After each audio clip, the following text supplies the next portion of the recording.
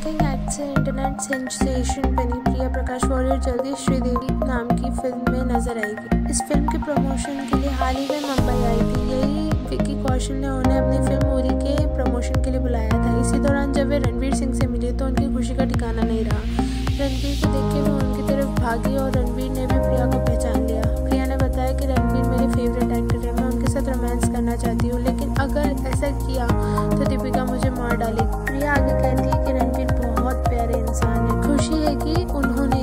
पहचान लिया। उन्हें मेरी आग मारने की स्टाइल काफ़ी पसंद आई। नमस्कार दोस्तों, अगर आपने अभी तक हमारे चैनल को सब्सक्राइब नहीं किया है तो अभी सब्सक्राइब करें और साइड में बेल आइकन को ज़रूर दबाएँ, जिससे घमासान से जुड़ी हर ताज़ा अपडेट्स आप तक सबसे पहले पहुँचें।